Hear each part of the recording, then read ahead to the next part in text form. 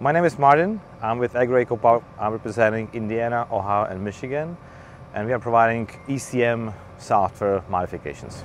Yeah, exactly. Tell us a little bit about this unique setup we have behind us. All right, so this is our dyno, dyno van. So there's a dyno inside, a, uh, inside the van.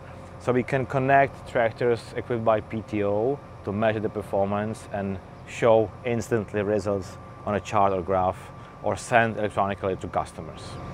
Using this, what can somebody expect as far as results? What are they going to get out of it? Depends unit by unit, but in average, in general speaking, you can expect up to 20%, 25% extra on your performance, torque-wise or horsepowers. But at the same moment, you can decrease your fuel consumption by 18-20%. And how is that done? It's, it's a software modification. It's not a chip box, it's not visible, it's not a power box, something wired. It's just software. So we come up to your location, we download software from your unit, we can tweak it and modify it, upgrade it, and load the file back. Since this moment, you have different unit, different engine. Actually, engine stays same, but performance-wise, it's stronger than before. What are some common questions that you're asked by folks who come up here and say, hey, this might be right for my operation?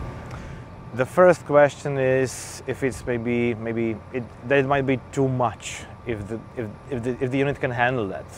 If it's maybe overheating the engine or overloading components, we are saying no, because thanks to these dynos, everything what we do is multiple times measured and tested and you know and proven that it's never overheating anything. It's completely safe, 100% safe. And you go to them. Always, yes. We are not asking to send anything, to ship over anything anywhere. We need to see the tractor. The process is very simple. It's like four phases. First phase is pre-diagnostic, so we see the tractor, we talk to farmer, we are asking to understand their needs and their requirements. Then we do the modification as a phase two. Then we do after diagnostic once again to see the status before and after and compare that if it's all up and running like before. And then phase four is a test drive. So we ask, kindly ask the farmer to go to the field and you know return back with super smile and saying yes this is what I wanted and this is completely different. This kind of instant feedback is the, the highest value we can get.